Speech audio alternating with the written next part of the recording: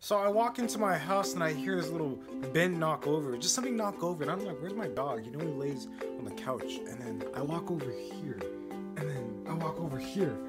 Oh, oh, oh! Why are you walking? Don't, don't you escape? Oh, oh, oh! You're trying to be cute now. Oh, oh no, no! I'm not gonna pet you. Look at that, William. What? Did you go through the garbage? What the? What the? What? What is this? Do stay there. Oh, you're in trouble. You're in trouble. So normally when my dog does something kind of bad, I put him on timeout. Just like that. While he does that, I'll just, you know, talk to him and tell him about what he did wrong. William, what is this?